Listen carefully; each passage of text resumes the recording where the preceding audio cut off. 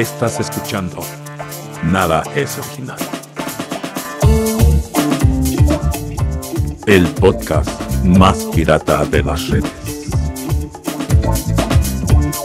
Un proyecto de Ultracinema. Presentado por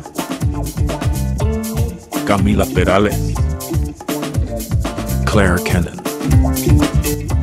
Antonio Boone y Michael Ramos Araizaga.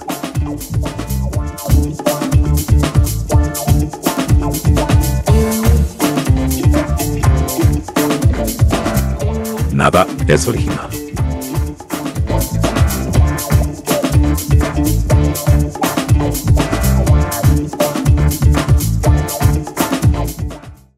Ayúdanos a seguir haciendo el podcast más pirata de las redes. Visita bohemiacoffee.com barra ultracinema y compra un boleto para apoyar a nuestra causa y seguir hablando del cine experimental y sus derivas.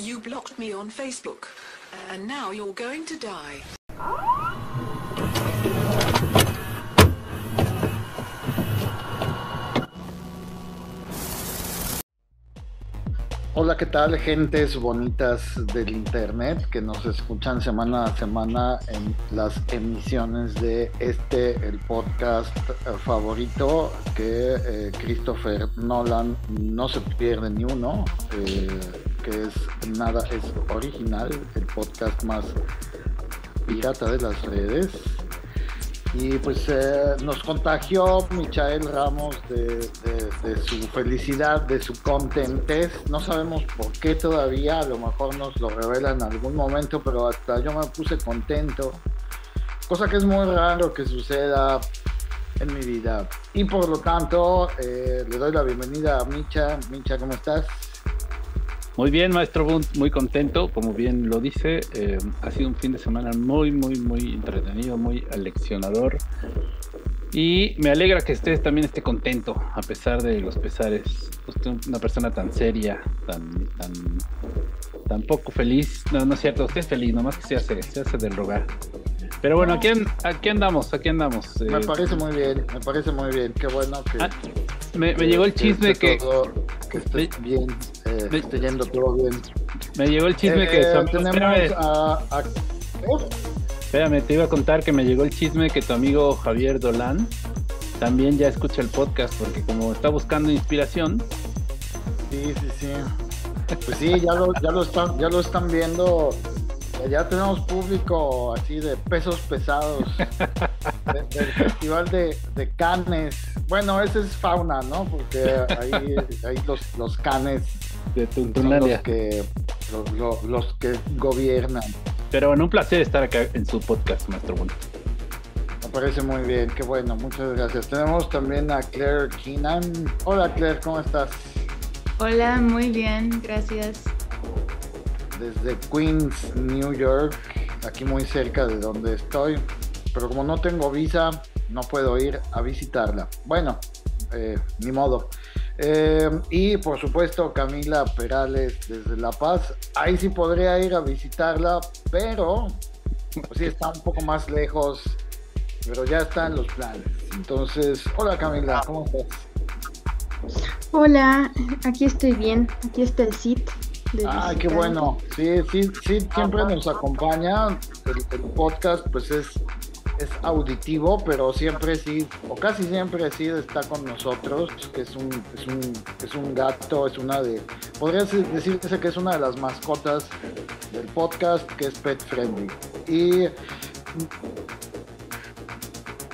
presentar al invitado de, eh, del día de hoy, que vamos a platicar con él sobre un proyecto bien, bien interesante, que la verdad lo, lo veo y lo veo y de plano no me explico muchas cosas y ojalá nos, nos explique, nos, nos revele los, los secretos de, de- de- del proyecto que vamos a hablar. Víctor Navarro, Víctor, ¿cómo estás? Mucho gusto en conocerte y gracias por, por aceptar la invitación de platicar con nosotros en el podcast. ¿Desde dónde, desde dónde nos escuchas? Hola, hola, hola a todos. Eh, yo estoy en Tepoztlán, Morelos. Eh, pues creo que también Micho está por acá. Bueno, eso. Eso he escuchado. Me, parece muy bien, pues muchas gracias y, pues bueno, vamos justamente a platicar de, un proyecto que a mí me ha volado el coco y por eso ya no tengo cabello. Y vamos a hablar acerca de patrones fotosintéticos, pero vamos a empezar con, ahora sí que con el principio, eh, no sé si alguien quiera lanzar una pregunta, pero a mí siempre me gusta preguntar a nuestros invitados, a nuestras invitadas, cómo es que comienzan por el lado bonito, el lado bello del cine, que es lo experimental. ¿Cómo, cómo comienzas tú en, esta, en este camino de lo experimental? ¿Cuáles son tus, pues a lo mejor tus antecedentes? Y pues no sé si nos quieras platicar un poco cómo, cómo empezaste eh, en, en el cine y luego pues ir a lo más específico que es lo, lo experimental. Eh, sí, pues, pues yo creo que como todos, pues empecé con el cine comercial, ¿no? Eh, pues desde, sí, desde chico, eh, yo soy de Hermosillo, Sonora, y hubo un periodo muy extraño en Hermosillo, bueno, no sé si llamarlo extraño, pero muy chistoso que es que había una compañía de cable que estando tan cerca de la frontera, como que tenían una antena parabólica y, ya después, mucho tiempo después lo entendí, que es como que agarraban la señal ilegalmente y de, canales como HBO o Disney Channel y nos los vendían como si fuera cable. Entonces, yo como que luego visitando a familiares en otros lugares fuera de Sonora, como que me di cuenta de que no veían lo mismo que yo. Y, bueno, yo desde niño también por la cercanía con la frontera mis papás, afortunadamente una de las mejores decisiones que tomaron fue meterme a una escuela bilingüe en lugar de una católica, que vivía enfrente de una católica. Pero... Y entonces, pues desde niño, pues entendía, ¿no? Lo que estaba pasando porque no habían subtítulos, ¿no? Entonces llegaban las películas, pero pues así, a la mala, ¿no? Y, creo que desde ahí, ¿no? Empezó como que esta onda con el cine. Pero bueno, por ahí como que en la, en la mm, preparatoria, eh, pues hubieron algunas películas así interesantes que, es- que estuvieron en el cine y que hasta la fecha se me hace como algo muy raro, o sea, como eh, esa como coyuntura de películas, pues no experimentales, pero sí yo creo surrealistas. Eh, llámese que hace poco, hace poco volví a ver una de ellas que es Being John Malkovich y que, y que pues todo lo que ha escrito Charlie Kaufman me parece así una genialidad. Y, y recuerdo que esa, Magnolia, no sé, como que hubo una serie de películas buenas, ¿no? En el cine y estaba yo muy chavo. Y como que dije, no, pues yo lo que quiero es estudiar guionismo. Pues ese fue mi primer acercamiento, o sea, pensar que yo iba a estudiar letras o guionismo específicamente. Pero algo paralelo a eso, o yo creo que hasta anterior, pues siempre ha sido la música, ¿no? O sea, desde que, no sé, tengo como 13 años, pues empecé a tocar la guitarra y, incluso antes de tocar la guitarra, eh, yo creo que mi primer interés realmente fue grabar, porque tenía una grabadorcita de estas como las de, de Walkman, como las de Home Alone, y me acuerdo que veía esa peli de Home Alone y yo decía, yo quiero hacer eso que hace, ¿no? De grabar la voz y modificarla. Entonces me conseguí una, no igual, pues ahí una ahí marca piratona y empecé a hacer como mis grabaciones, ¿no? Entonces a la hora de aprender a tocar la guitarra, pues ya siempre fue como, ah, ya puedo grabar, o sea, en realidad como que lo de grabar vino antes. Y, bueno, o sea, como que ese gusto por, por capturar empezó en el audio, ¿no? entonces ya como que a la hora de, de querer incorporar todo este conocimiento como al, al cine, pues lo primero fue pensar que, pues, que la base de todo eso era el guion, ¿no? Ahora rara vez escribo un guion, yo creo que he escrito escaletas, o sea, hubo un tiempo en el que sí estaba muy clavado con el guion, pero digamos que ya estudié ciencias de la comunicación, este, siempre fue como que estar dirigiendo ejercicios, pero más que nada por mi cercanía con la música y con, con la grabación. Eh, cuando entré yo a la universidad ya sabía grabar, o sea, conocía los programas de audio, entonces luego, luego empezando la carrera empecé a hacer el sonido y la música de muchos de esos ejercicios. Entonces, digamos que profesionalmente empecé y sigo haciendo sonido para cine, ¿no? que pues es, pues yo creo, o sea, no tengo un solo trabajo, pero pues sí es uno de esos trabajos que, pues que son más o menos constantes, que es pues hacer eh, diseño sonoro, ¿no? Para cine. Entonces, como que a partir del sonido es que más bien como que han sido cosas que para mí nunca han estado separadas, ¿no? Pero, pero luego me di cuenta de que era como una fortaleza o este, pues una particularidad que tenía de, de poder ver el cine eh, más desde el sonido, ¿no? O sea, como, pues porque inconscientemente, pues estuve, he estado escuchando y escuchando y escuchando y escuchando y eso ha sido como sin querer pues parte de, mi entrenamiento entonces eh, sí me gusta pensar que la mayoría de los de mis proyectos tienen ese elemento muy fuerte y ahora eh, patrones para igual entrar en materia de eso pues tiene todo que ver con esa exploración ¿no? del, del sonido óptico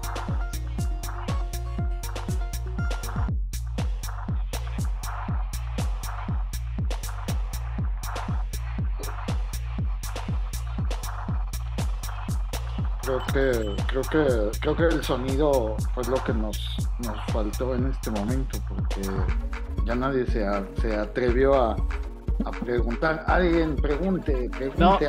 a mí se me, se me quedó pasmado y por eso ya no, no, este, no sabía si me estaban citado. Bueno, en fin, el caso es que, qué bueno, Víctor, que sí, yo, yo había visto ahí que, que vives en Tepos. ¿En qué parte de Tepos?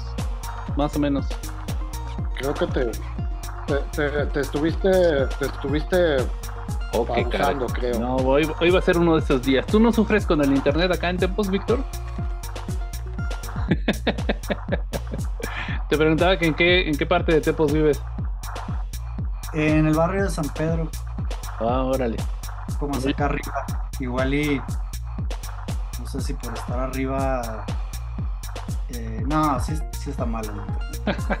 Yo vivo rumbo a Yautepec, entonces igual no sé si por estar acá abajo es malo. Pero bueno, no, pues qué, qué, qué, este, qué maravilla, Víctor. Luego nos, nos vamos a tomar un, un- un café o a comer un, un, este, un itacate al menos ahí al mercadito. Sí, Eh, que la verdad está súper interesante la, la- tu pieza. Es una. Digamos, usualmente vemos este tipo de, de trabajos en donde la intervención. Uy. sobre- Uy, no. Es un clásico. Va, va a ser uno de Es un esos días. clásico de ultracinema. Sí, Olvídenlo. este, Es parte del encanto. Sí, lo que, lo que dice Camila es cierto, es, es un clásico de ultracinema que se quede pasmado Micha, entonces no sería, no sería el podcast si no pasara.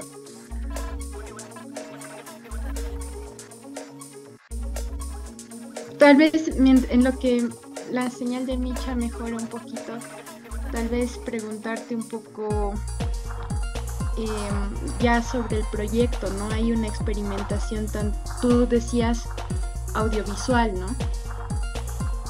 Entonces, un poco me intrigaba cómo se generaban estos patrones fotosintéticos, si podrías contarnos un poquito de eso. Sí, pues, bueno,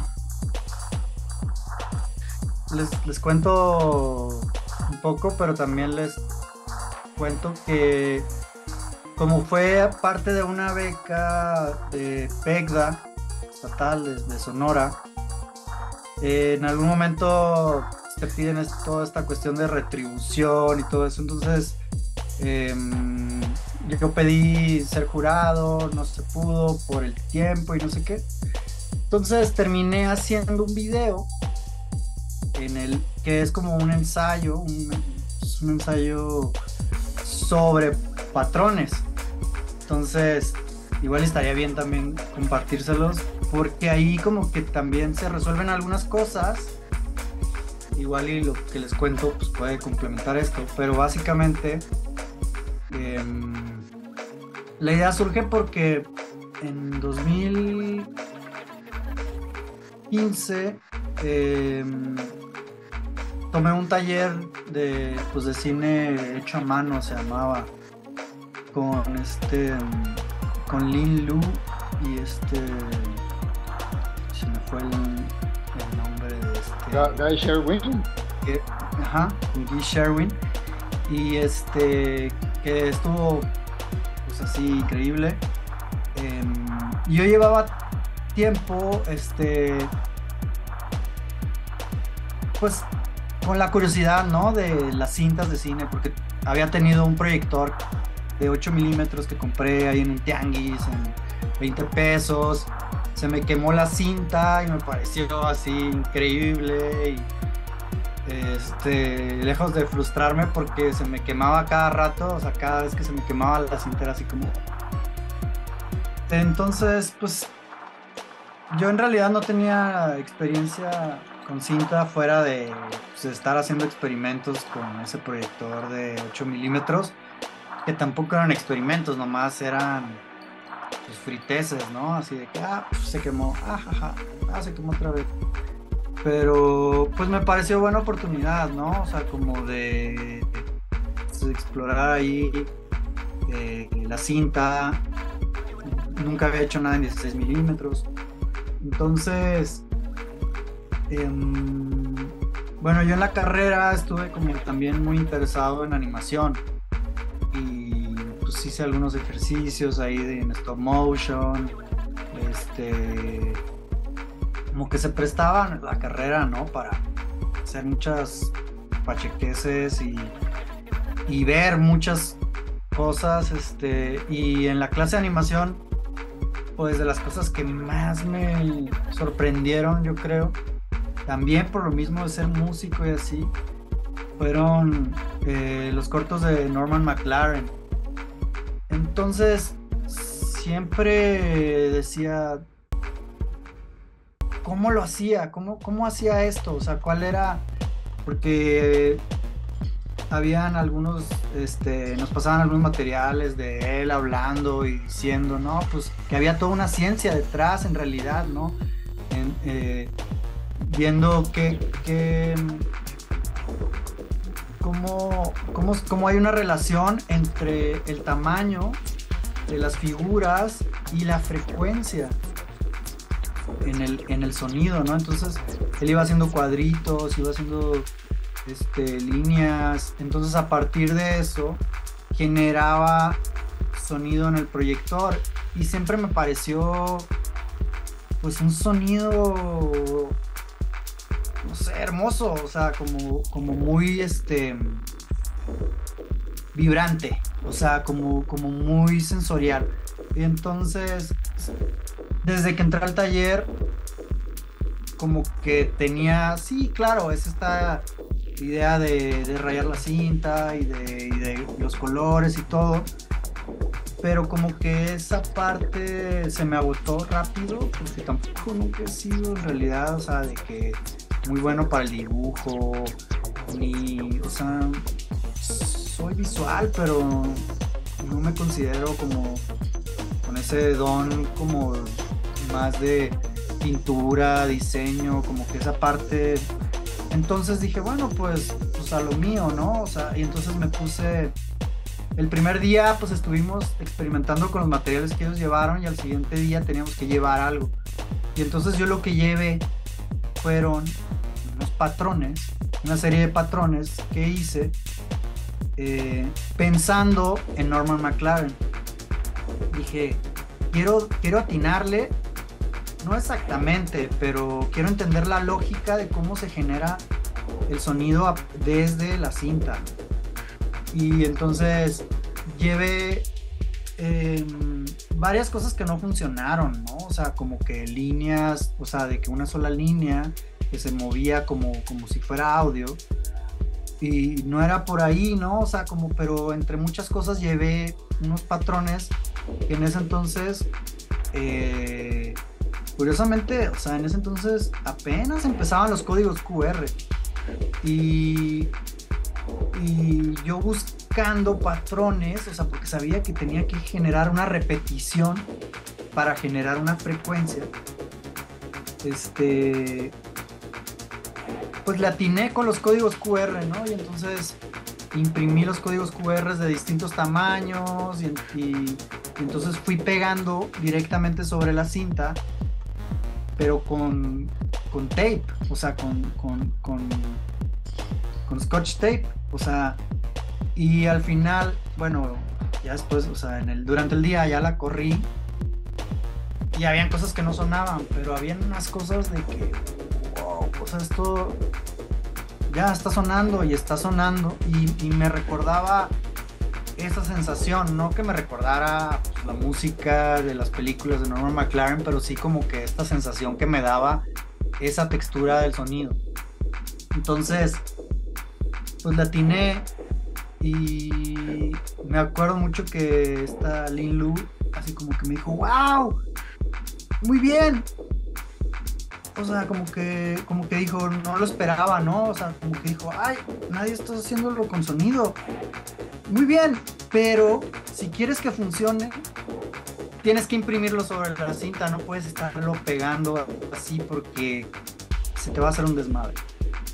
Y efectivamente, o sea, ya la, tuvimos como una presentación ahí en el Centro de Cultura Digital y se andaban ya despegando los pedazos de cinta y todo eso y dije, bueno, eh, nunca le pregunté, o sea, y nunca mantuve pues contacto con Lynn este fuera de ese taller de cómo podría hacerlo para imprimirlo y que no fuera esta forma tan arcaica ¿no? de, de, hacerlo y entonces estuve muchos años diciendo ya me voy a comprar un proyector de 16 este me voy a comprar unas cintas pero, bueno, ese, ese año, curiosamente, em, yo, fuera de ese proyecto, yo ese año tuve jóvenes creadores en el Fonca, en video.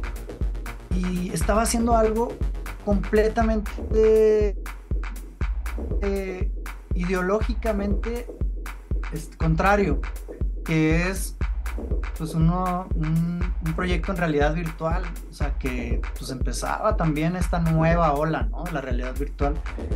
Y yo ya llevaba pues mucho tiempo como que entendiendo que mi onda era como un poco pues jugar al margen, ¿no? O sea, y hasta la fecha, o sea, no me o sea, entre mis amigos músicos, ellos dicen que yo soy cineasta y entre mis amigos cineastas ellos me ven como músico y entre, eh, o sea, como que siempre estoy como tratando de salirme, ¿no? Del, de, no no por, un asunto de las categorías, sino por, por una curiosidad de explorar los límites, simplemente, ¿no?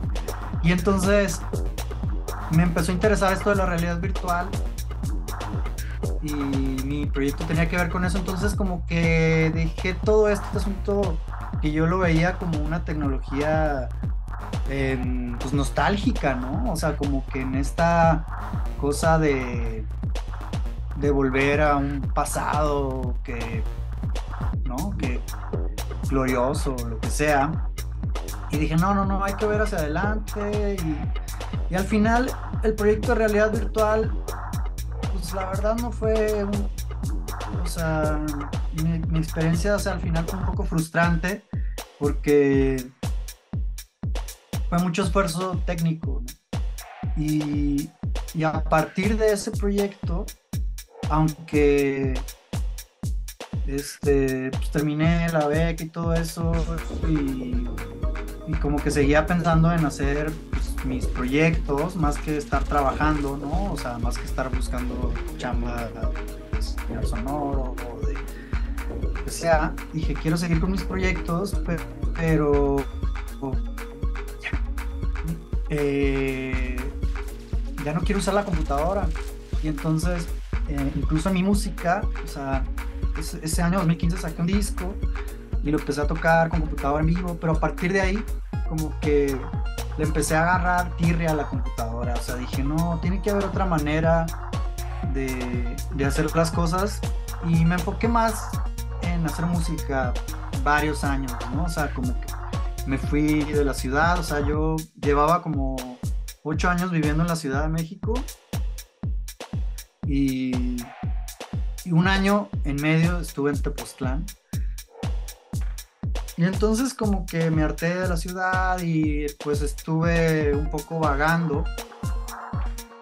Viví un tiempo en Guadalajara y luego estuve un tiempo viajando.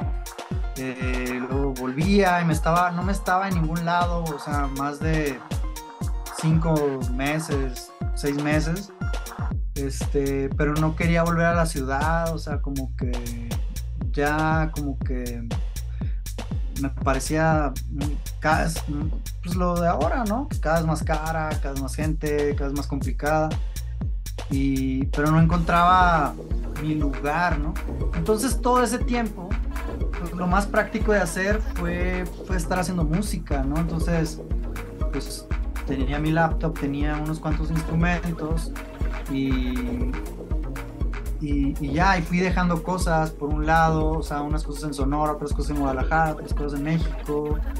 Y la verdad fueron años bastante caóticos, o sea, esos 3, 4 años de 2016 a 2019. O sea, nunca pensé siquiera en hacer mucho, muchos proyectos que ahora estoy retomando.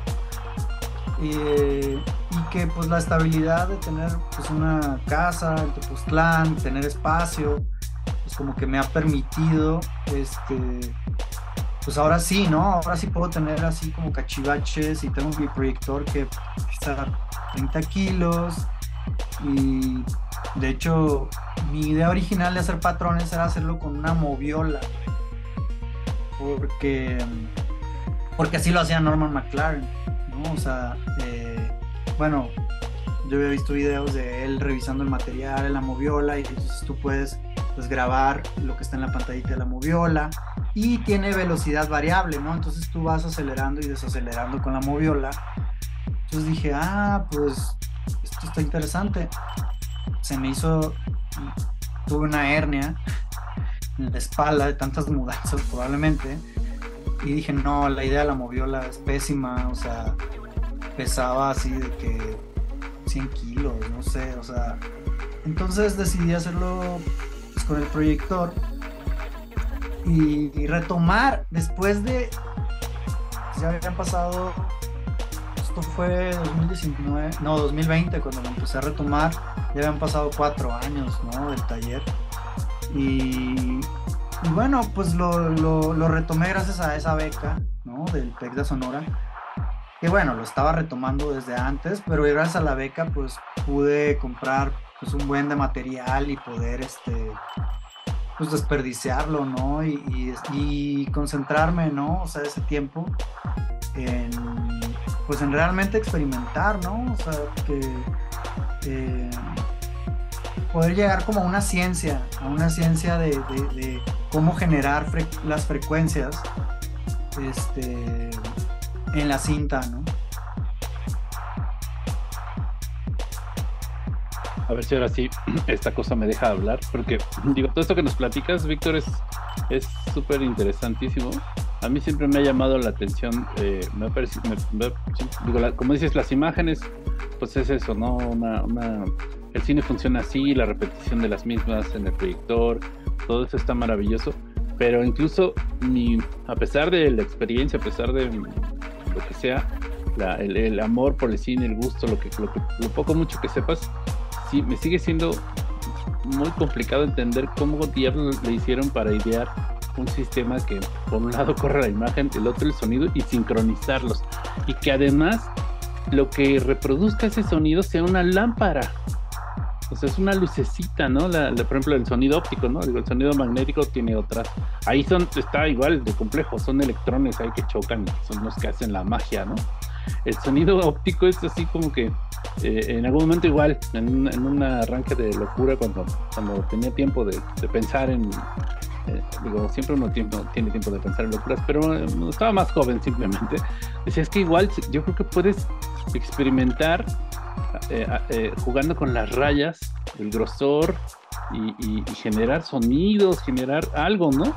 Nunca tuve la. También tengo un, un, Kodak, un que igual, como bien dices, pesan una tonelada esas cosas pero no, yo no sí no tuve la, más allá de la idea, la curiosidad de, picarle, de, A mí me encantó, me encanta tu pieza, me encanta porque además eh, lo que intentaba decir hace rato era justo que se sale de, o sea, hemos recibido muchos trabajos en donde se interviene la imagen, en donde se incluso se entierran las películas, se les echa químicos, se les echa, pero esta como que sí sobresale justo por eso, porque está impreso y, por el valor que le da al, sonido, ¿no? O sea, el, de verdad es, una cosa que, uno extraña cuando va al cine ahora.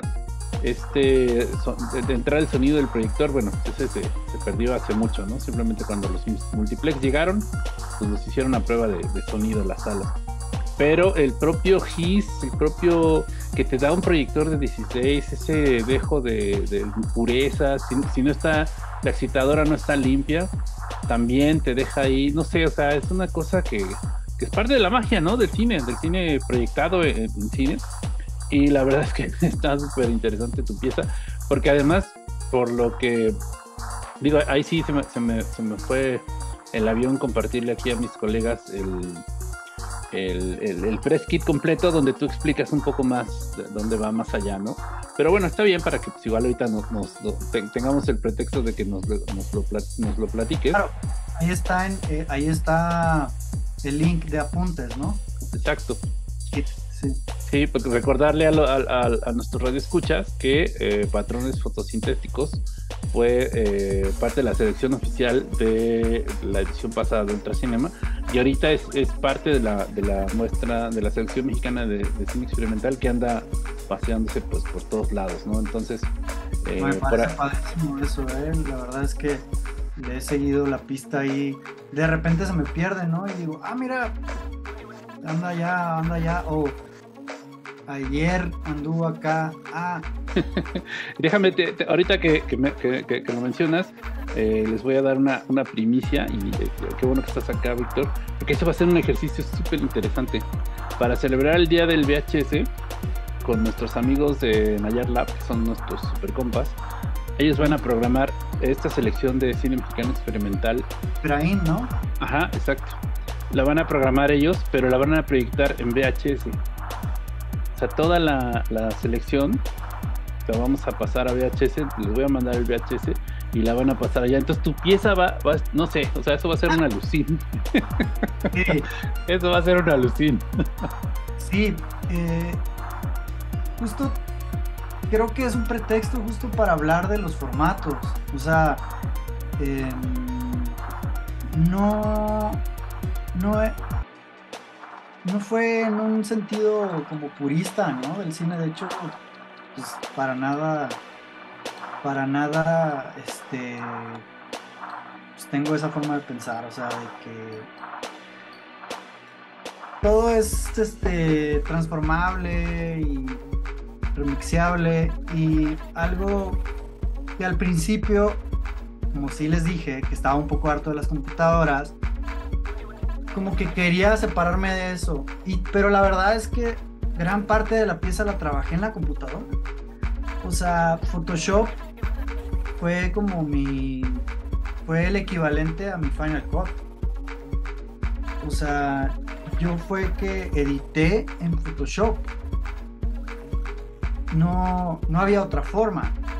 O sea, no, y tampoco si hubiera sido un poco más purista hubiera dicho, no, lo tengo que hacer pues, yo a mano, pero no iba por ahí, no es, no es por el afán de, de yo tocar eh, la cinta, que sí retomé esa idea, bueno, en parte por, por eso, porque ya venía rondando esta idea, eh, y sí por el asunto de lo material, como que lo venía pensando, pero desde otros lados, o sea, más como desde la filosofía, desde el budismo, eh, como que em- em- empezó a resonarme mucho que estuve leyendo un libro de Alan Watts, que no sé si lo pero eh, pues es un muy lúcido que escribió mucho sobre budismo y, y, y que decía que yo mucho tiempo como que me sentía como culpable de lo material, ¿no? O sea, como de tener cosas, o sea, como que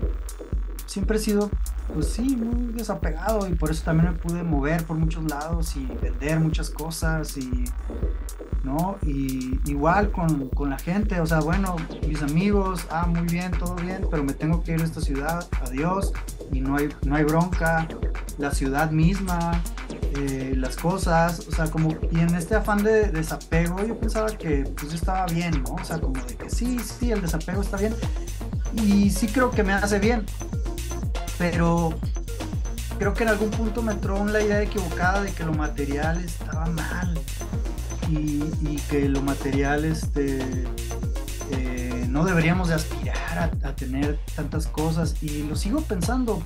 Pero hubo algo que Alan Watts dijo que me, me, me marcó y que realmente me inspiró a retomar este proyecto que es que no es que seamos una sociedad materialista sino eh, pues todo lo contrario, que, que, si en realidad amáramos las cosas que tenemos, no las tira, desecharíamos tan fácil.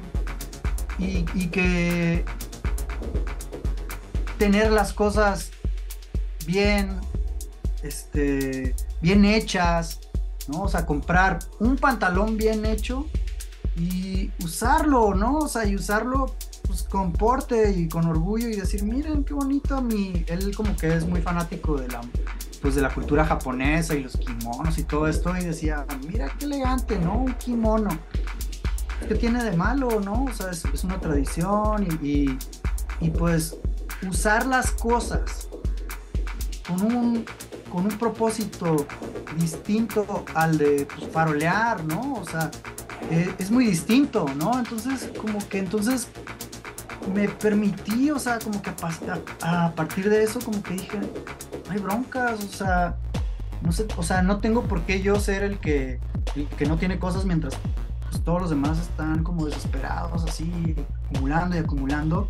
Tampoco se trata de que, eh, pues yo no, yo no tenga nada, ¿no? Entonces, pues la verdad es que ya una vez que empiezas como a acumular ciertas herramientas, pero prefiero verlas como herramientas, es que entonces puedes crear una complejidad, ¿no? Y lo que me pasó fue que siendo músico eh, encontré por fin esa, eso, eso que empezó por ahí en 2015, 2016 de ya no quiero usar la computadora. Eh, encontró, encontré por fin la respuesta que es pues, los sintetizadores modulares, que siempre tuve yo sintetizadores, o sea, desde que tenía 20 años, o sea, empezaba eBay y yo ya entraba a eBay y decía, yo he visto que Radiohead usa este sinte, lo quiero. Y mi primer sintetizador lo vendí, o sea, me parece una locura, pero el órgano Yamaha, esos que tenían en las casas, esos feos, ¿no? Así, ni siquiera es un Hammond así chido ni nada. Eh, llevaba cinco años sin tocarse en mi casa, nadie lo tocaba. Yo que era músico no lo, no lo tocaba porque tocaba la guitarra. Y entonces un buen día así como que desde niño tenía esta cosa de no, no me gusta que las cosas se acumulen. Y le digo a mi mamá así de que mamá, ¿puedo vender el órgano ese? Así de que, ay, sí, por favor, me estorba, yo quiero poner ahí un sillón y quiero poner un jarrón. Véndalo y quédate con el dinero. Y con ese dinero me compré mi primer sintetizador. O sea, ahorita es una locura. O sea, lo que vale ese órgano ahorita, no sé, es 20 veces menos que lo que vale ese sintetizador. Entonces, como que hablo de esto de los sintetizadores porque a partir de, de eh, o sea, los sintetizadores modulares es, una, es un conocimiento exponencial, o sea, es una herramienta exponencial. Tú tienes cuatro módulos y tienes un instrumento, pero tienes cinco módulos y tienes dos instrumentos. Y así, conforme empieza a crecer, empieza a crecer la complejidad. Y entonces, a partir de, de empezar ya más en serio a tener más módulos, porque llevaba varios años como teniendo algunos, eh, me empecé a clavar de nuevo en la síntesis, pero de otra forma. Y entonces fue a partir de esto de la síntesis que dije, ya, ya caché esto, ya caché esta idea que tenía del sonido óptico. Y entonces como que ya había acumulado suficiente conocimiento dentro de la síntesis para verlo de una forma gráfica, O sea, em, y en realidad lo que pasa en patrones es que entre más intrincado está un patrón, más agudo es el sonido. Pero no hay un solo sonido. Es, es, una, es un solo voltaje, igual que en el sintetizador análogo. Y de hecho el nombre fotosintético viene pues, de ahí, de que es como una, o sea, es, un juego de palabras que es como una fotosíntesis, porque es, es una síntesis como la del sintetizador, que, que es un voltaje continuo que se filtra y que sube y baja y se transforma y pasa por un lado y por el otro, pero siempre es el mismo voltaje. Es un solo, un solo sonido, pero que, se transforma de muchas formas.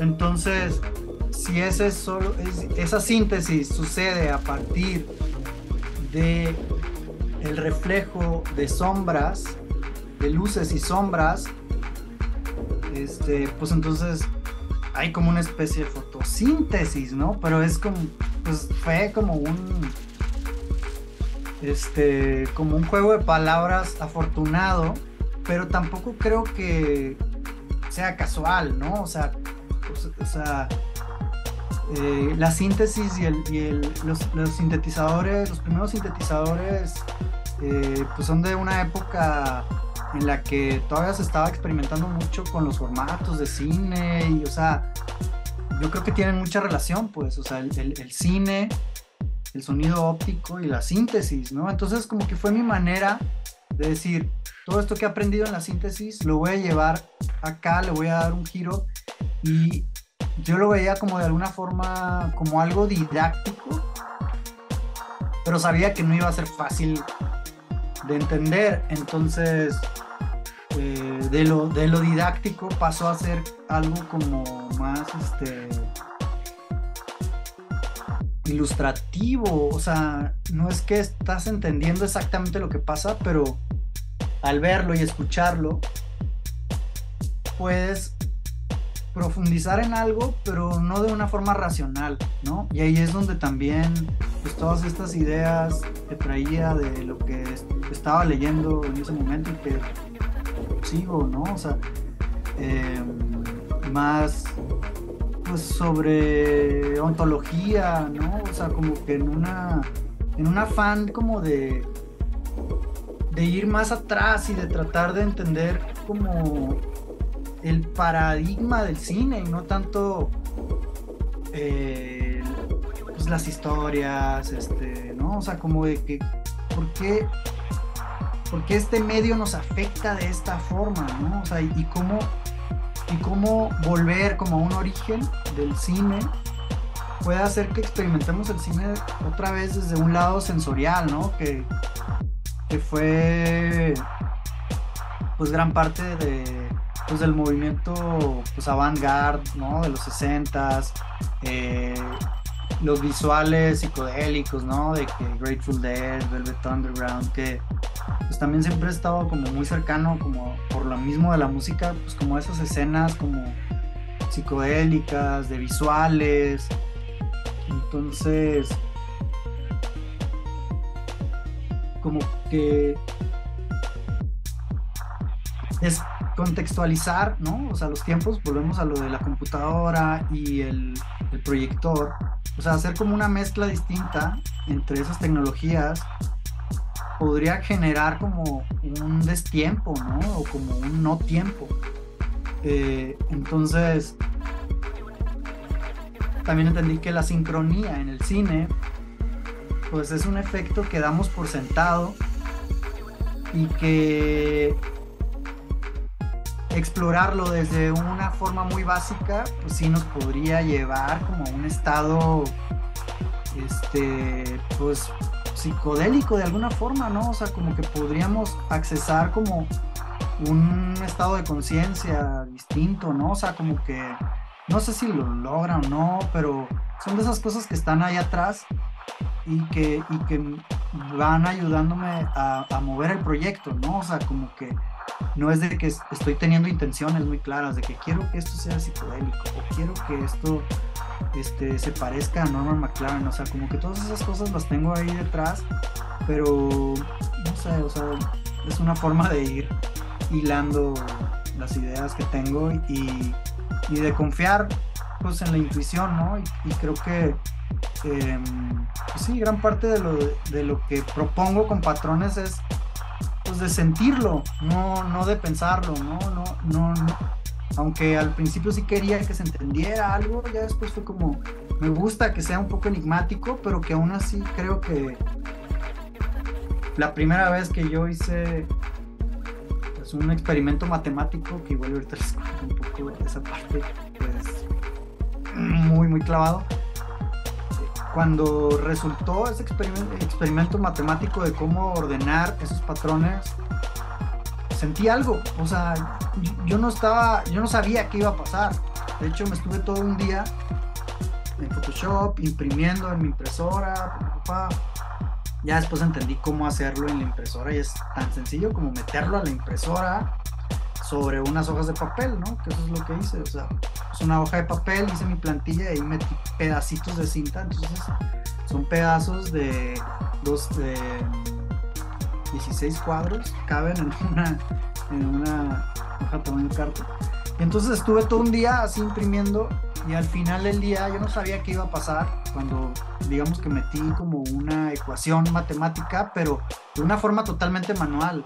O sea, yo en, en, un, en una partitura que es una hoja con la cinta y cuadro por cuadro apuntando.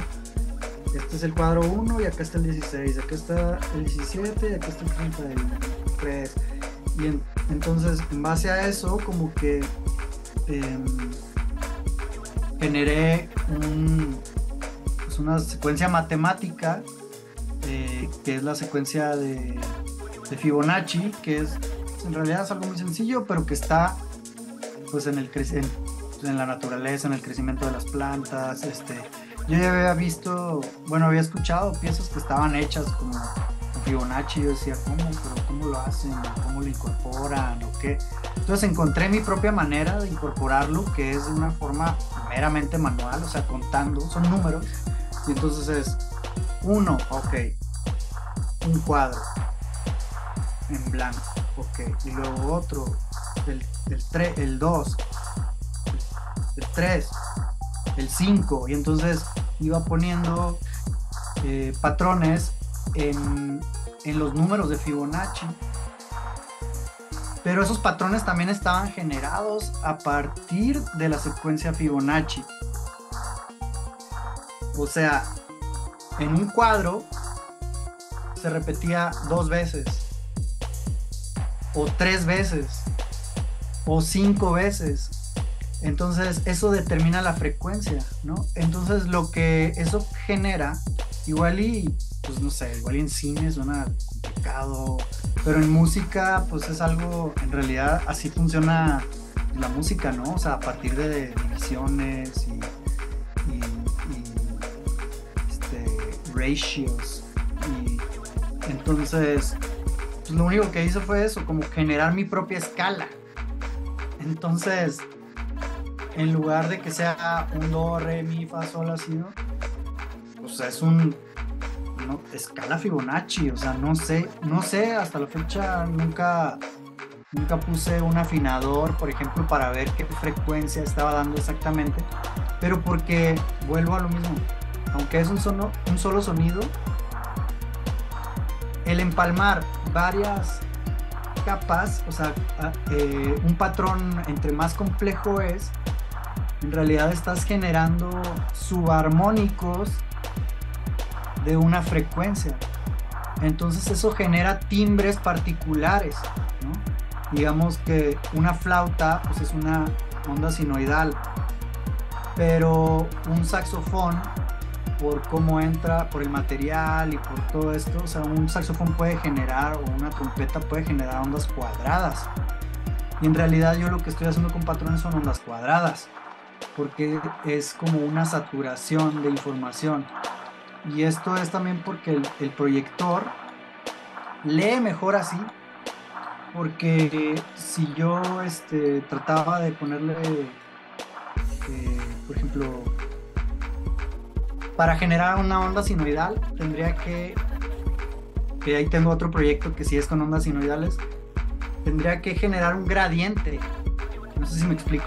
O sea, como para que la onda vaya fluyendo de una forma circular, tú vas generando un gradiente. Entonces es de, de claro a oscuro.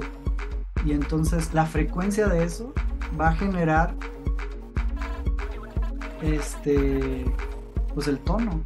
Entonces en patrones la forma más práctica dado la limitación que tiene el amplificador en realidad del, proyector que pues experimentando me di cuenta de que no llegaba más de 5000 Hz es muy poquito o sea el oído humano escucha entre 20 y 20 mil. Y esto pues llega a 5000 o sea una grabación profesional llega hasta los 20 mil no y viene desde los 20 mil y este viene como desde 60 hasta 5000 entonces por eso escogí también las ondas cuadradas al final de cuentas para para que de todas maneras esas ondas cuadradas este, eh, iban a ser muy degradadas por, por el mecanismo mismo de la cinta, de la lámpara y el amplificador. Entonces todo ese proceso de reproducción va degradando y ya no es Photoshop. Si yo hiciera esto en la computadora, sonaría técnicamente igual, o sea, serían los mismos tonos, pero no tendría como este desperfecto, ¿no? Y, y en ese desperfecto es que pues yo considero que de alguna forma, aunque ese proyector no sea un producto de la naturaleza, es producto súper industrial, genera algo orgánico, ¿no? algo natural. Y entonces mi forma de jugar con este, concepto del orgánico y de lo natural, pues es a través de esta secuencia Fibonacci, ¿no? Entonces hay esta idea de que el proyector es un fotosintetizador. Entonces, sé si ya me debrayé demasiado. algo. Yo creo que ahorita sí ya todos nos quedamos con, con o sea, nos perdimos en algún momento de, de la explicación este, entre el Fibonacci y las notas, porque la verdad es que, o sea, pareciera un, un, un ejercicio relativamente sencillo, ¿no? Poner, imprimes eh, cositas sobre la cinta y, y, y, ves que sale. Pero bueno, la verdad es que está genial tener toda esa explicación para podernos dar cuenta que, bueno, un proyecto como este pues, puede ser tan complejo o tan sencillo como, como tú lo, lo planteas. Y la verdad es que me hace muy interesante que, que esto último que dijiste, ¿no? Es de una cosa tan industrial como es un proyector, una, eh, una cosa tan emblemática, de alguna manera le estás regresando a la naturaleza por decirlo de alguna manera, algo. O sea, eh, tu trabajo eh, con estas, con estos conceptos que empleas, lo- lo- lo- la secuencia de Fibonacci, todo el proceso incluso, ¿no? Eh, Ahora, Fibonacci también fue un pretexto como para descuadrar, descuadrar el proyector, porque haciendo pues, ejercicios así, pues normales, así de que cuento dos cuadros, ¿no? Eh, o sea, tres cuadros con sonido, dos cuadros sin sonido, tres cuadros, dos cuadros, tres cuadros. Lo único que haces es pa pa pa pa pa pa pa pa pa, o si acaso pa pa pa pa pa pa pa pa pa pa pa pa. Entonces como que en algún momento se volvía muy predecible. Entonces yo como que quería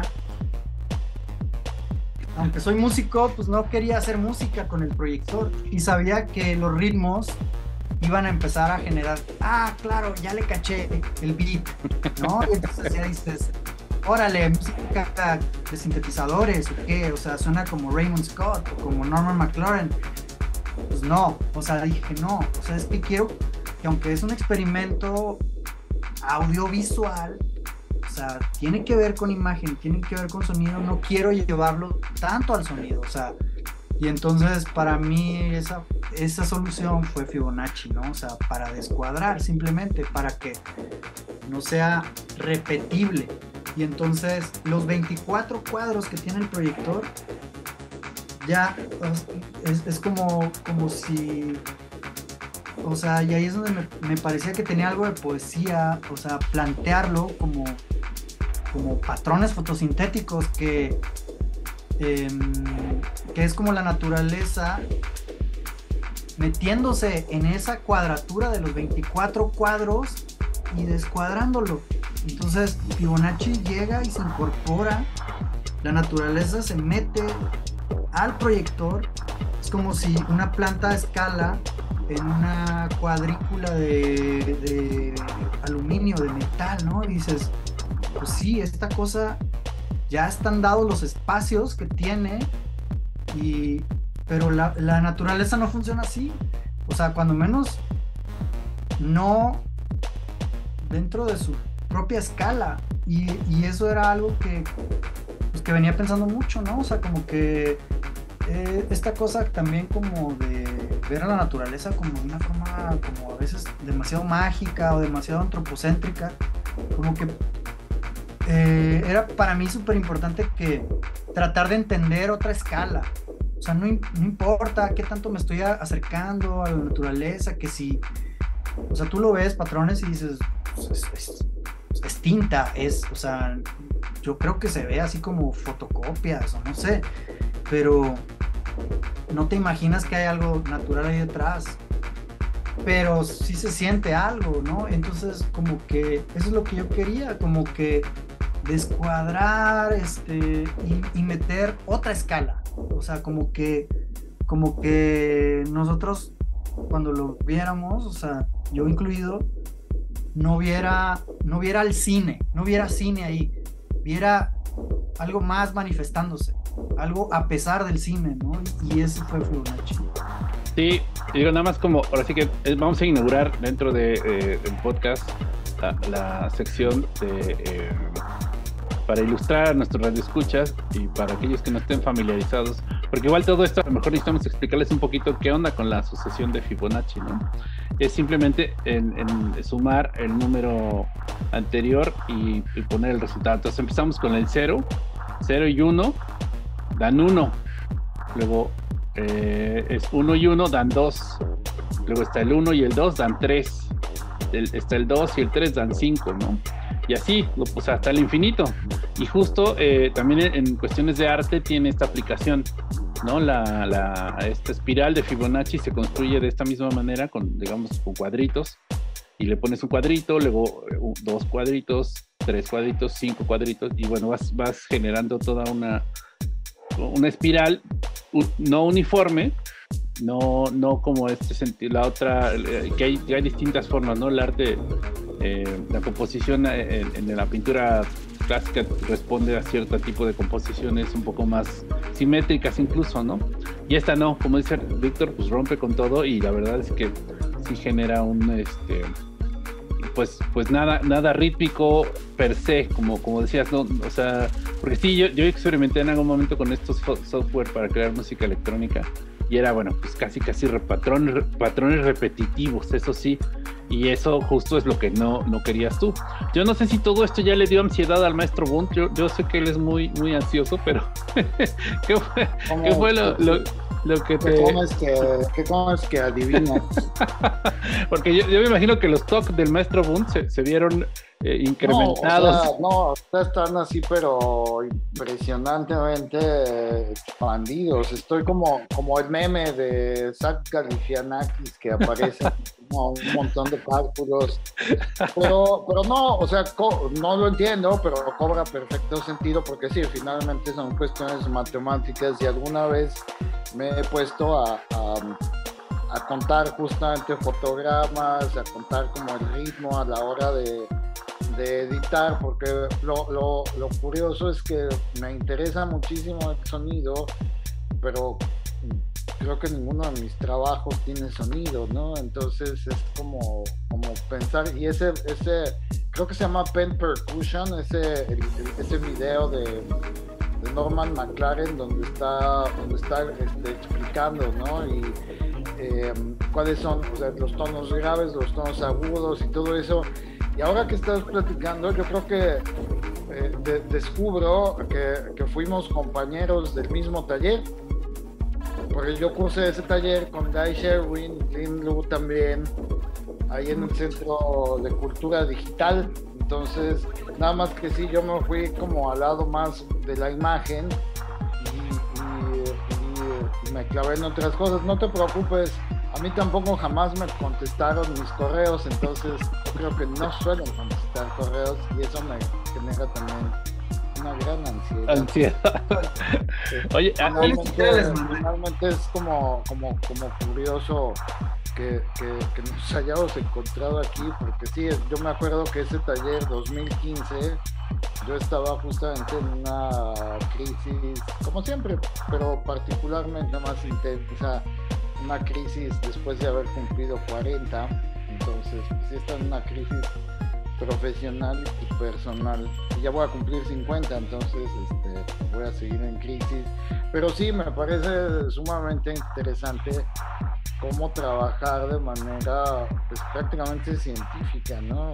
Eso es la experimentación del cine llevada a su máxima expresión.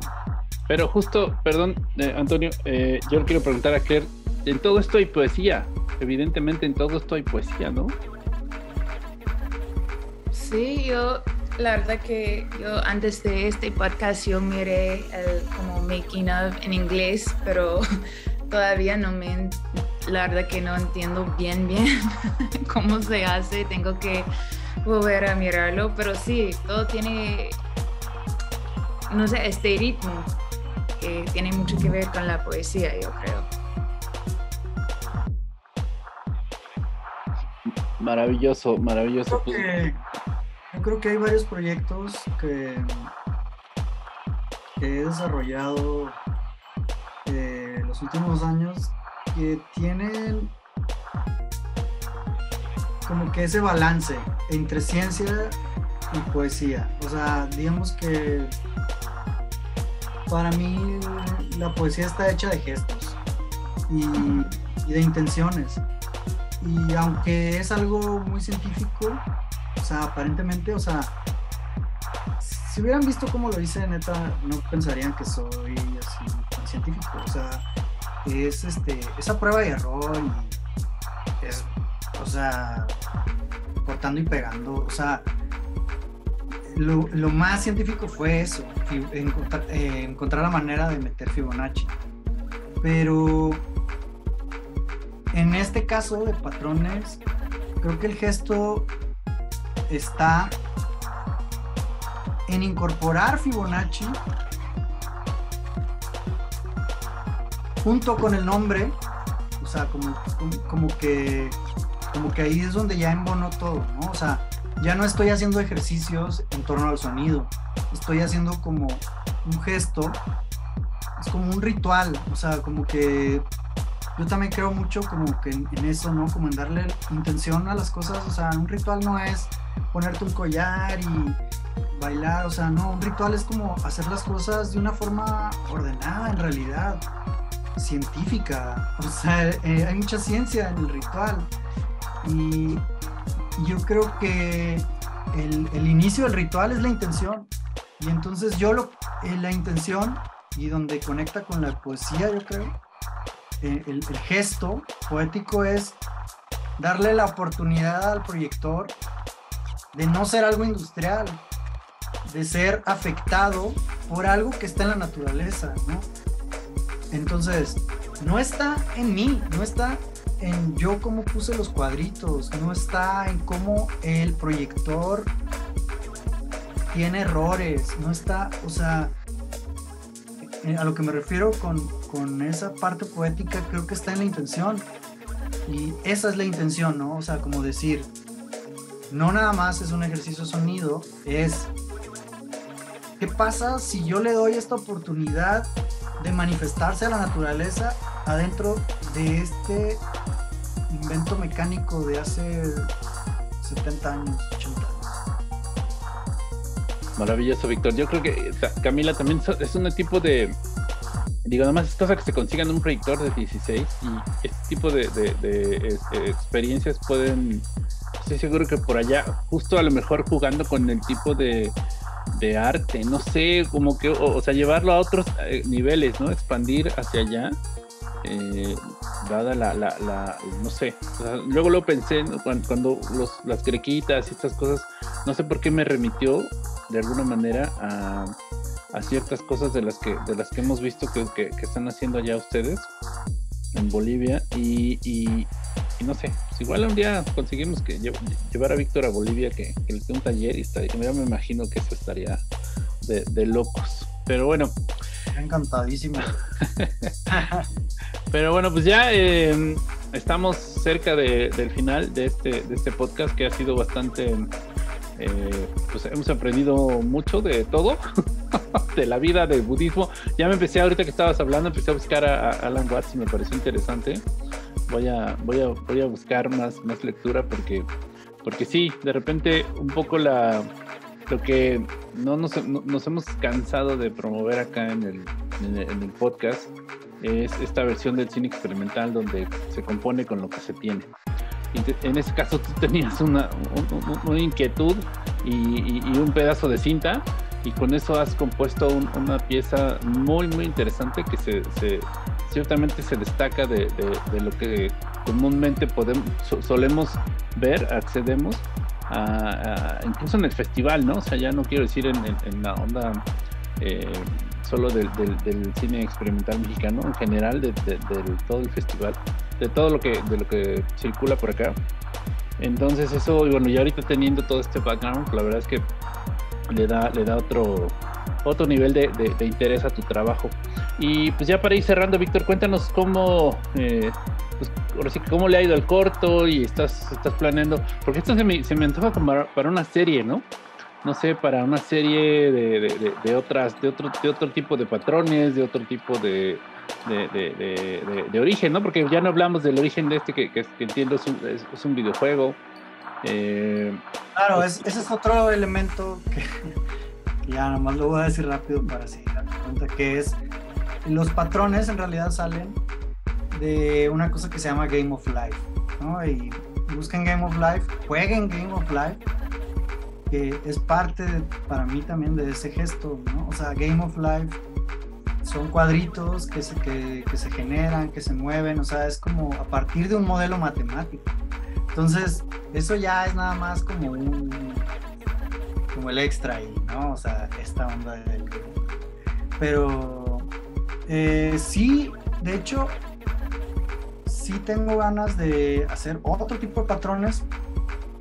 Originalmente se llamaba, bueno, tenía varios, tuvo varios números, pero en el título dice patronos fotosintéticos 100, 10, ¿no? O 10, 100, ya no me acuerdo. Porque antes era 1101. Y entonces, em, pues quería seguir haciendo y haciendo y a ver qué iban saliendo. Y que cada, que cada ejercicio fuera un número distinto. Y entonces, pues a lo mejor en algún momento juntarlos todos y hacer un desmadre. Pero em, creo que amarró todo con el, con el nombre, con, con hacerlo Game of Life. o sea, Game of Life fue lo que me permitió hacer ondas cuadradas, porque son cuadritos. Entonces, em, creo que sí quiero hacer varias cosas que se relacionan con patrones, pero ya no serían patrones. Yo no, hasta ahorita no he pensado, no he continuado con esa idea de que sea patrones fotosintéticos y otro número. De hecho, le quité el número para allá, o sea, dije, no, ya, este es patrones fotosintéticos. Tengo otras ideas que tendrán otros títulos y, y otras, otras variantes, otras ondas, como esta onda sinoidal de la que les hablaba, que es un gradiente. Ese lo estoy pensando más como, pues, creo que como un performance, como más en una onda, varios proyectores, este, jugar con las fases, o sea, como, como seguir tratando de rela- relacionar este, la música o, o la teoría del sonido aplicada a la música específicamente, porque no es nada más del sonido, sino de, de, de esto que les decía, ¿no? Que son como divisiones y divisiones, jugar un poco más con eso con otras ondas y este y con otros efectos del cine, ¿no? O sea, también gran parte de, de la motivación, eso creo que está ahí muy atrás, pero pues es esta, este, pues el estatus, el, el, el zeitgeist, o sea, que es pues, las redes, ¿no? O sea, quería que fuera como algo en contra, o sea, algo no en contra, pues en mal plan, así de que, ah, esto va a hundir las redes. No, o sea, es como de que, a ver, ya tenemos Instagram, ya tenemos TikTok, así, ¿qué, puedo hacer distinto, no? O sea, que, ¿cómo, cómo aporto algo? Este, que esto, que sea arcaico, no quita que no puede haber, este, este, que puede dar una información nueva, ¿no? Y entonces, eh, gran parte de mi motivación últimamente ha sido, pues, hacer que el medio se vuelva evidente, que, que- te haga pensar, ¿no? En el cine y en la imagen, el movimiento y en la sincronía, o sea, esas son las cosas que quisi- quisiera que se quedaran ahí detrás, ¿no? Y, y son las cosas que sigo explorando. Pues les cuento también que, bueno, el corto ahí se sigue moviendo. Este, recientemente me mandaron un premio ahí de Italia, de un festival que se llama Rivalta estuvo bien, o un premio que se llama Michelle Sampling, que, es un artista muy chido y que lo descubrí ya, pues gracias al premio, o sea, de que me dijeron, este, pues chécate a, a Michelle Zambin, te vamos a dar ese premio y no sé qué. Pues se sigue moviendo por ahí, eh, todavía están ahí por notificarme de otros festivales, o sea, está en su año, ¿no? Todavía. Em, pero bueno, les cuento así brevemente que ahorita estoy, pues de hecho la semana que entra tengo una exposición, no sé si quieren lanzar, no sé si cuándo va a salir el podcast, pero la exposición es del 3 al 6 eh, en el Centro Cultural Los Pinos, en la Casa Miguel Alemán. Pues voy a hacer una instalación pero yo creo que tiene muchísimo que ver con patrones, o sea, no es formalmente una continuación, pero es en este afán de, pues de generar como un medio muy específico, ¿no? O sea, aunque yo sé que patrones es cine porque está en los festivales de cine y no sé qué. De hecho, yo en un principio lo pensaba más como que dije, ah, lo corro en un proyector y que la gente pase y lo vea y se pare cuando quiera o no. Dije, es algo pues, medio, no para verlo tanta gente, ¿no? Dije, en una salita ahí en algún lado. Lo empecé a meter a los festivales de cine, empezó a pegar y dije, bueno, pues es cine. Pero yo creo que como que mucha de mi inquietud es hacer como algo muy específico, algo que no entre en una categorización específica, porque aunque es cine, luego batallo, ¿no? Como para, me- en los formularios me dicen, este, ¿está hecho en digital o en cine? Y yo, pues es que es un registro digital en 4K de una proyección en cine. Pero esa proyección, aunque es en cine, son patrones que hice en Photoshop. Entonces, es, es un poco ambiguo, ¿no? Y bueno, este proyecto, pues también, ¿no? Se llama Remembranzas del Magma. Y pues empezó como con la idea de del temazcal, ¿no? O sea, como que salió la convocatoria de Eco Sonoro, se llama. O sea, me dieron una, una lana ahí para hacerlo. Proyecto de Chapultepec, Naturaleza y Cultura. Dije, pues yo tengo cosas de naturaleza que, he estado pensando, ¿no? Y el tema era el agua. Y dije, o sea, como que tenía ganas de hacer una instalación y dije, quiero trabajar el tema del temazcal, pero no sé cómo. Entonces, pues les eché un choro, ¿no? De que temazcal, algo prehispánico, no sé, bla, bla, bla. O sea, dije, bueno, pues a ver si pega, pero no estaba bien definido. Entonces, sabía que lo que me interesaba era, al igual que patrones, o sea, como que muchos de mis intuiciones empiezan en el sonido, en la sensación que me, que me trae el sonido, ¿no? Patrones me recordaba a los amplificadores de bulbos de antes, ¿no? Por ejemplo, porque claro que tiene sentido porque hay calor de por medio, ¿no? Y, y este, eh, este proyecto de, de Remembranzas del Magma fue a partir de unas grabaciones que yo tenía que eran con una resistencia para calentar agua. Pues hice unas grabaciones y yo decía, wow, se evapora, pero demasiado rápido. Y dije, pues voy a, sí, voy a trabajar esto, ¿no? Voy a, voy a desarrollar este concepto. ¿no? Y no lo tenía todavía bien aterrizado durante el- de los siete meses que duró la beca. Se transformó de una forma muy chida, de una forma muy parecida a patrones, o sea, como, como empezó como de una intuición sonora y, y- y empecé a, pues, a incorporar conceptos, ¿no? O sea, como que a mí me gusta mucho eso, jugar con conceptos, ¿no?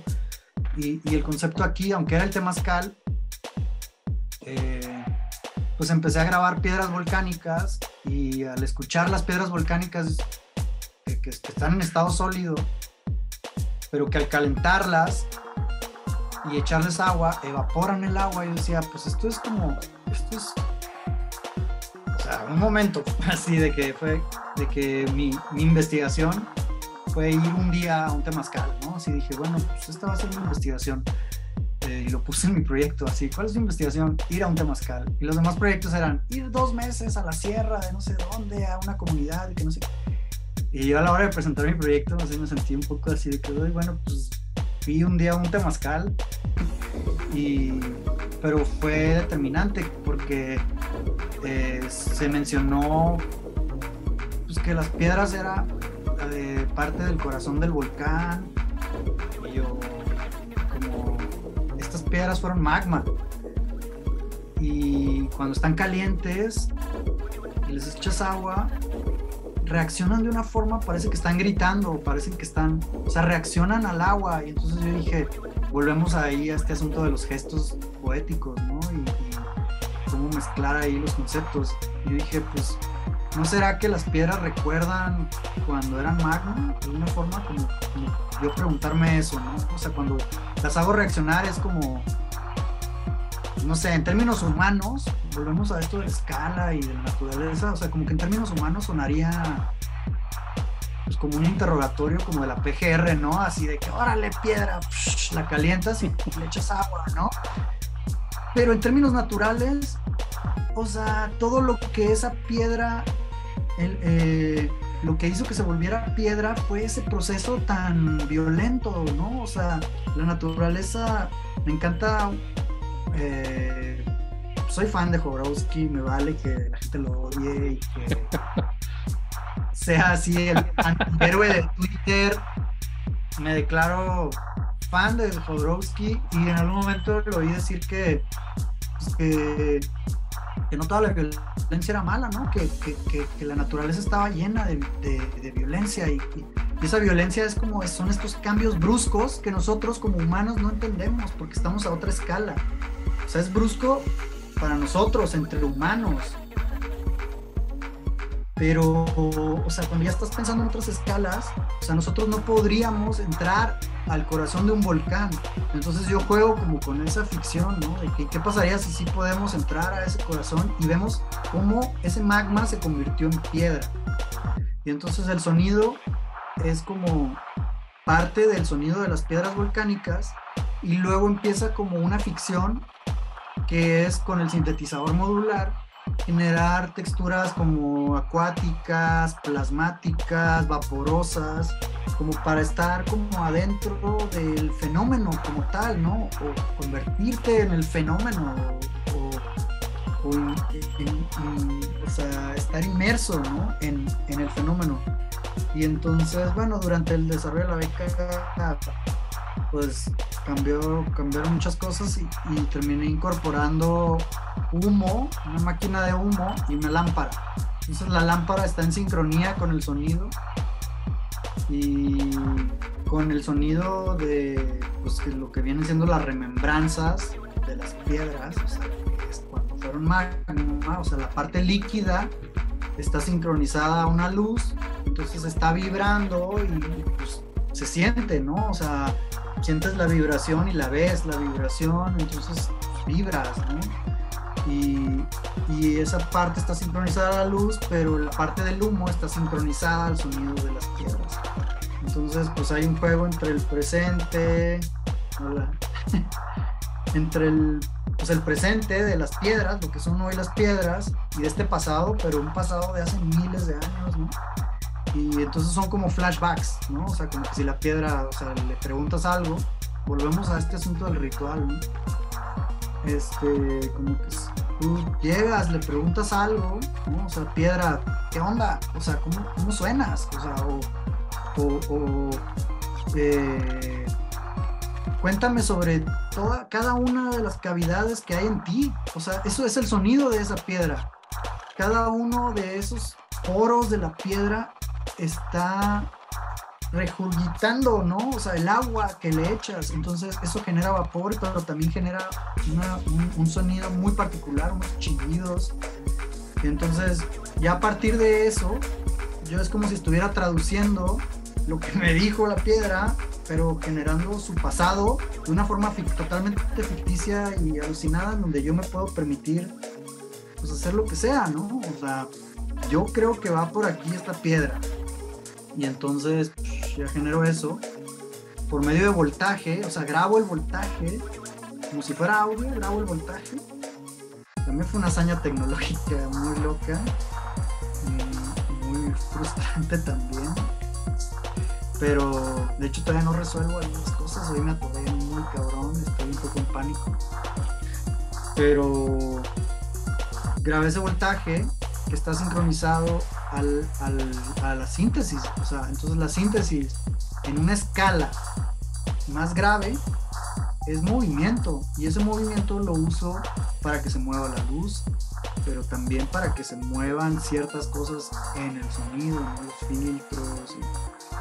Entonces, pues para mí es cine, o sea, yo, ¿no? O sea, no, no, lo, no lo estoy vendiendo como si fuera una función de cine, no, no sé. De hecho, también lo voy a presentar en un festival de cine que se llama Documenta en Querétaro. Que, es un festival de documental, pero pues están planteando experiencias inmersivas este año, me contactaron, les platiqué el proyecto, les gustó. Pues va a estar en Los Pinos. Un día después me regreso a Tepos, agarro cosas y uh, el 10 o sea, termino el 6 en Los Pinos y el 10 ya estoy en Querétaro ahí inaugurando y va a estar un mes y medio en Querétaro.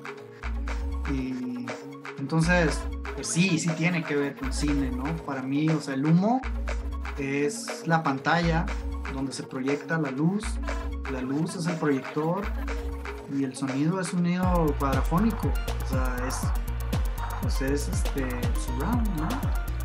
Entonces, yo creo que tiene todo que ver con, patrones y te digo, no sé cuándo va a salir el podcast, a lo mejor ya salió después de eso. Estaría padrísimo pues, que saliera antes de la exposición y si no, pues ustedes pues, están aquí en, en el tiempo presente, pues Digo, me gustaría ahí saber también qué relación le ven con, esto que, ya conocen. Siempre tengo esa curiosidad. O sea, no hago las cosas pensando cómo lo va a interpretar el otro, pero sí siempre, o sea, sí hay una necesidad, ¿no? De, de rebotar ideas, ¿no? Así es- para mí es como una conversación, o sea, es como, como, no una conversación, pero como un pretexto para conversar y decir, oigan, ¿qué onda? Sí, por, por, por supuesto, pues por eso un poquito surge la idea del podcast para platicar y escuchar todos los procesos de nuestros invitados. Eh, ahorita se me, se me movió el calendario, no estoy seguro, pero bueno, de cualquier manera, eh, estén pendientes de el trabajo de Víctor, de Víctor, que como, como les decía, es parte de la selección de cine experimental mexicano o digamos la o número 11 que, que estamos moviendo en distintos espacios en donde está incluido por supuesto patrones fotosintéticos y si andan por Querétaro pues dense una vuelta a esta a esta experiencia que, que nos acaba de relatar Víctor Galería Para- Municipal.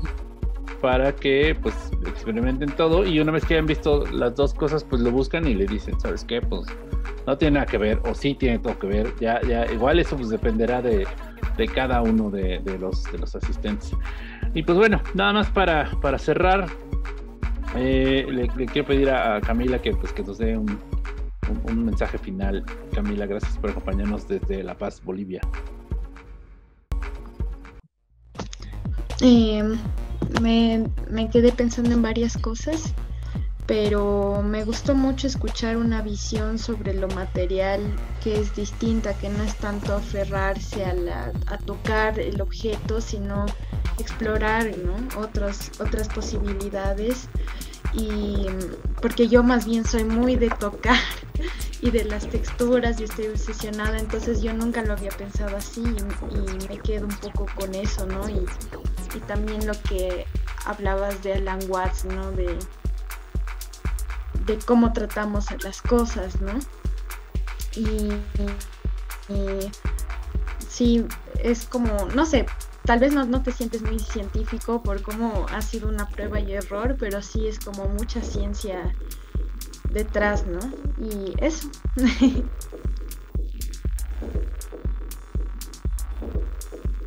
Fantástico, fantástico, Camila. Pues, eh, pues bueno, eh, el caso es eso, eh, poder, poder aprender entre, todos y- y, pues explorar eh, estas cosas. Les digo, esto de Alan Watts me pareció muy interesante también. Y bueno, gracias, Camila. ¿Qué, Claire, cuéntanos. Sí, yo también estoy pensando mucho, es mucha información, pero me gusta mucho esta idea de, de balance con la naturaleza y también estoy pensando mucho en cómo colaboras y interact, int- interactúas con la naturaleza y también, am, sí, a mí me, me- me parece muy interesante y quiero, quiero volver a mirar todo otra vez de verte hablar. Entonces, entonces no debrayé tanto. de repente No. llevo Sí. 20 minutos explicando. Sí, tienes, tienes el récord de, de- de más tiempo que nos dejaste con el ojo cuadrado porque, o sea, muchas cosas, como, como te decía, pareciera que es más sencillo, pero fue muy interesante ver cómo, pues bueno, detrás de esto hay toda una cosa que no nomás es, porque luego pasa, ¿no? O sea, una de las cosas que, de las críticas que hay eh, eh, eh, al cine, pues podemos decir estructural o abstracto en, en algunos casos es, bueno, es todo es así aleatorio y el cuate se puso a rayar y no importa. Pero no siempre sucede así. A veces sí, el- el- son cosas, la serendipia juega mucho con el cine, en el cine experimental.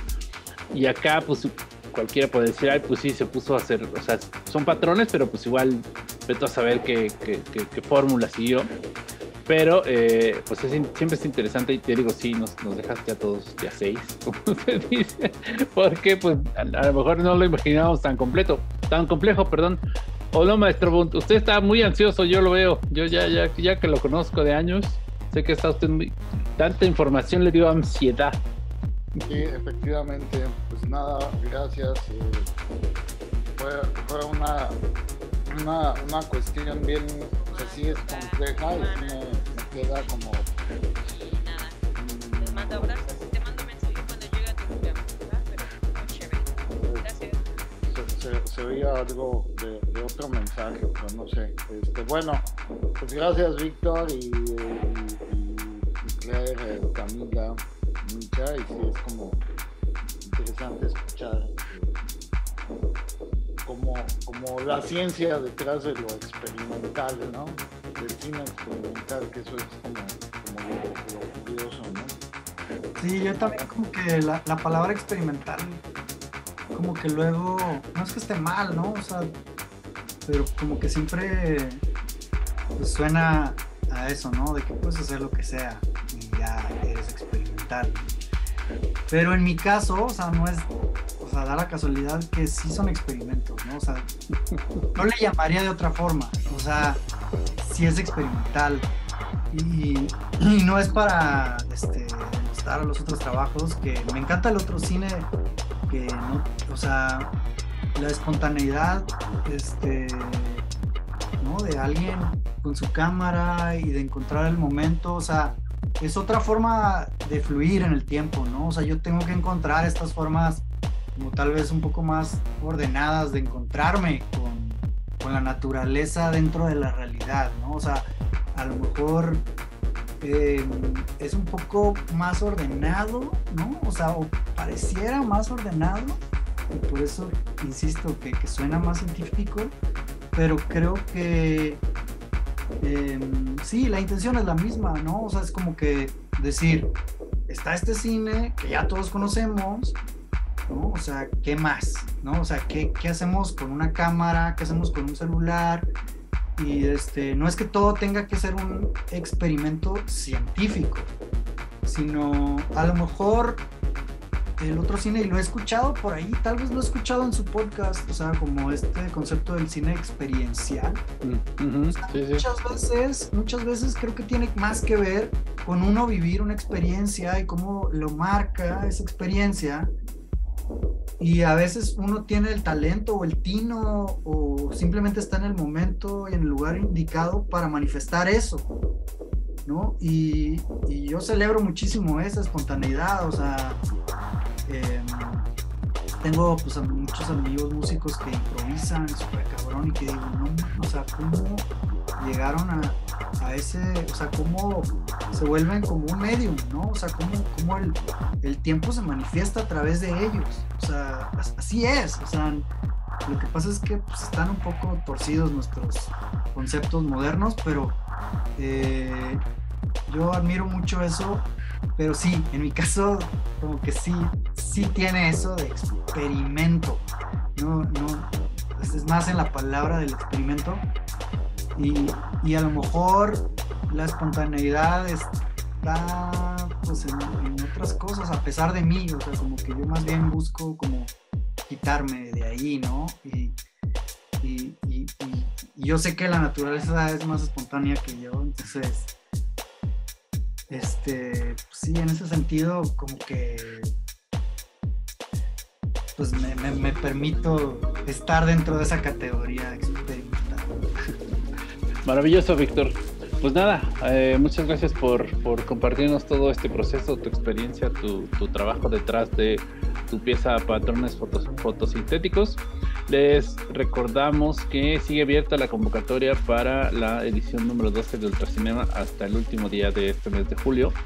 Eh, pues si quieren eh, ser parte de esta eh, eh, edición histórica que regresa finalmente después de tres ediciones pandémicas regresa a la presencialidad. Vamos a estar en Tijuana, Baja California, con en espacios muy bonitos, muy muy interesantes, teniendo oh, finalmente una edición, edición presencial. Así que hagan planes. Ahorita en este momento están baratos los vuelos a Tijuana, así que aprovechen. Ayer, al- hace dos días, estuvieron a peso. Entonces, eh, desde la Ciudad de México, entonces, bueno, pónganse las pilas, por favor, para que nos veamos en Tijuana. Y nada, mándenos sus películas. También está abierta la convocatoria para el encuentro latinoamericano de cine casero, amateur y huérfano, que aspiramos se convierta en el Orphan Film Symposium latinoamericano, para que nos compartan sobre sus colecciones de cine casero, sus, sus, eh, archivos locales, comunitarios, eh, per- personales que tengan que ver con eh, el cine casero, el cine hecho con, con todo el corazón, pero no, digamos, no tan profesional, o hallazgos, ¿no? Películas huérfanas, etcétera. Eh, está abierta también la convocatoria para la celebración del Día Mundial del VHS. Ahí les estamos pidiendo que nos compartan sus clips de, de cosas extrañas, bizarras, interesantes, grabadas, surgidas en, en el formato VHS. Y pues bueno, eh, sigan pendientes, seguiremos haciendo un montón de, de- de locuras, de experimentos. Eh, seguiremos haciendo cosas para poder eh, seguir hablando de el cine experimental, el cine experiencial y sus derivas. Por ahí tenemos pendiente pues, eh, la celebración del Día Mundial, del Día Mundial, del día, del centenario del 16 milímetros, del centenario del 9.5. Entonces pronto tendrán noticias sobre esos, sobre esos ah, eventos. Y nada, ya, ya vámonos, eh, porque Claire, Antonio y Camila están como a dos o tres horas antes que, nosotros. Víctor Agente Potlán ya están en horarios ya no aptos, sobre todo para el maestro Boot, que ya no, ya no es, ya en esta edad ya necesita tener cierta regularidad para sus eh, pastillas. y bueno, nos escuchamos, nos vemos en la siguiente. Por favor, compartan este podcast, suscríbanse y pues nada, adiós.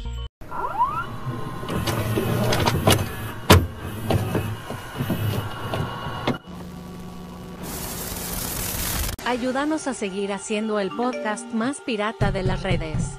Visita bohemiacoffee.com barra ultracinema y compra un boleto para apoyar a nuestra causa y seguir hablando del cine experimental y sus derivas. You blocked me on Facebook, and now you're going to die.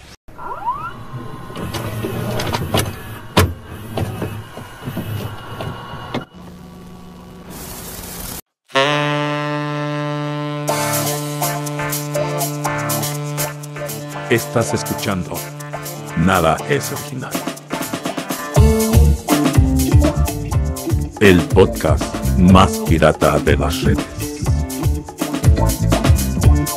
Un proyecto de Ultracinema. Presentado por Camila Perales, Claire Cannon, Antonio Bunt y Michael Ramos Araizaga.